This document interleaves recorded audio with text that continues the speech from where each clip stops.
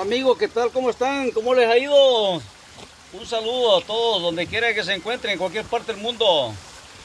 Aquí les saluda su amigo de YouTube, el primo, sus tutoriales y humor 1. Les voy a contar una pequeña historia, ahorita voy a agarrar 15 minutos de break, aquí donde estoy trabajando. Y les voy a contar una pequeña historia.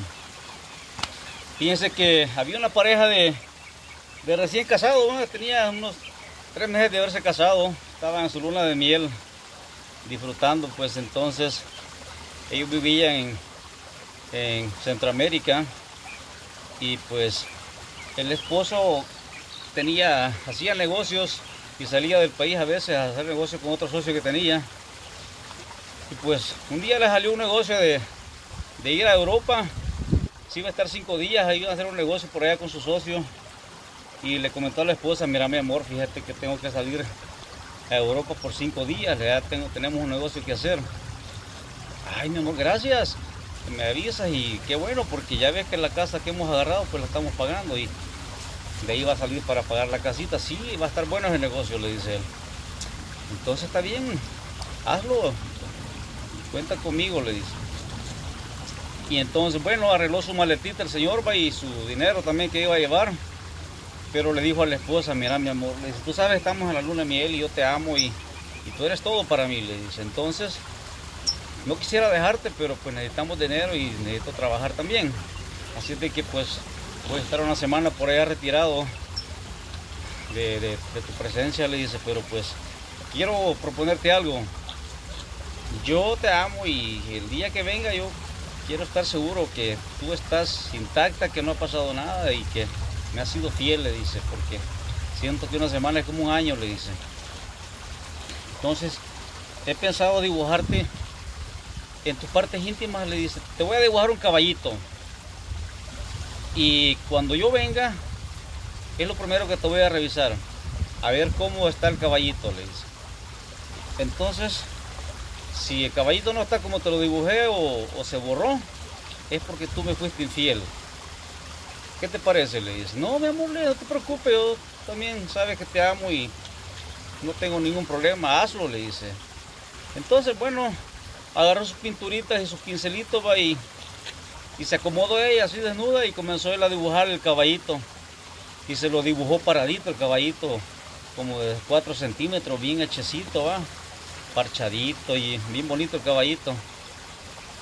Entonces uh, se fue de viaje para Europa lo que iba a hacer. Se iba a estar cinco días.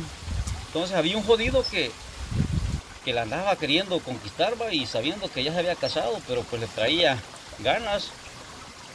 Y supo que el esposo se fue para Europa y comenzó a llegarle por allí, a tirarle piropitos, a cortejarla. Y la mujer le decía, la, no, le dice, nosotros podemos, le dice, tú sabes que estoy casada y que amo a este hombre también él me ama a mí, le dice. Además de eso, le dice, me ha dejado un dibujo en mis partes íntimas, le dice, que es lo primero que va a revisar cuando él venga. Y si ese es un caballito que me ha dibujado, y si ese caballito no está como, como él lo dejó, es porque yo le fui infiel y yo no quiero que pase nada de eso, le dice, yo lo amo a ese hombre, le además nos acabamos de casar y no le puedo hacer eso a mi esposo. Mira, le dice, pero es que yo te amo siempre desde niños. Tú sabes que nos hemos criado por ahí algo cerca, le dice, y siempre te he querido y... Pero yo... Yo necesito que tú me hagas caso, le dice, que, que me peles pues, le dice. No importa que sea una vez, le dice. No, ¿cómo vas a creer? Le dice. Bueno, total que le dice, no puedo además, aunque quisiera, porque mira, el, si ese caballito se borra donde me lo has dibujado, imagínate qué va a pasar. Le dice, no te preocupes, le dice, tú sabes que yo también sé dibujar, le dice, he estado estudiando dibujo y pintura, le dice. Así es de que yo te lo dibujo otra vez como, como lo tenías, como te lo dejó él, y dice, no hay ningún problema.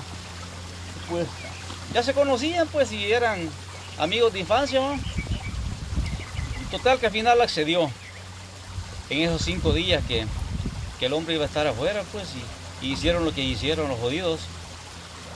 Allá cuando llegaron los cinco días que ya le tocaba venirse al marido a querer a la esposa, va. Ah, informándole que, mira mi amor, fíjate que ya estuvo el negocio que íbamos a hacer y ya me iba a ir ahora, le dice. Pero fíjate que ha salido otro negocito por ahí de resolverlo en un par de días más. Y pues ya estoy aquí, quiero aprovecharlo. ¿Le qué dice? Le me espera, le dice. Ay, mi amor, no te preocupes, le dice.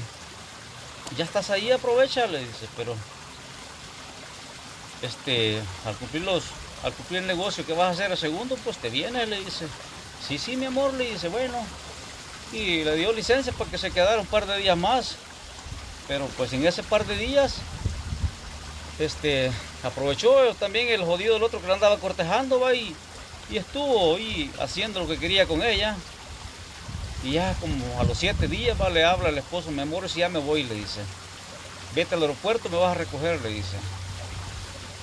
Y ya salió a, recoger el aeropuerto, ya iba cayendo al aeropuerto y ya lo, esperó en carro y se fueron para la casa.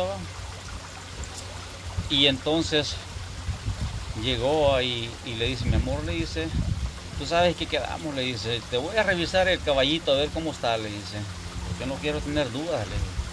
Sí, mi amor, revísalo, no, hay, no, hay, pena, le dice. Ya dijo a revisarlo y le queda viendo, ay, mira mi amor, le dice, pero yo me acuerdo que el caballo te lo, te lo dibujé paradito y está echado, le dice. No, mi amor, que ya no te acuerdas bien, le dice, a lo mejor se te habrá olvidado, le dice algo. No, si me acuerdo que te lo dibujé parado, le dice. Ay, mi amor, le dice. ¿Sabes qué pasó? Le dice, tú tuviste la culpa, le dice. Tú dijiste que iba para cinco días y ya ves que te tuviste dos días más por otro negocio que hiciste. El caballito se cansó y se echó, le dice, por eso está echado, le dice. Híjole, de veras que yo tuve la culpa, le dice. No, hombre, sí, la regué, le dice. Entonces eso pasó, por eso, por eso está echado el jodido, le dice, porque se cansó el jodido, se echó, pues porque me tuve más tiempo. Total, que así quedó. Así es de que tengan cuidado, amigo. Cuando se vayan y dibujen algo así, tomenle foto también. Porque llega otro jodido dibujante y aunque lo dibuje al revés, les va a salir que se tardaron mucho tiempo y se cansó y se ha hecho el animalito. Pasen bonito día, cuídense mucho. Les voy a seguir aquí arreglando un trabajito que tengo pendiente de una pipa. Cuídense, pasen bonito día o bonita noche donde quiera que se encuentren. Bye.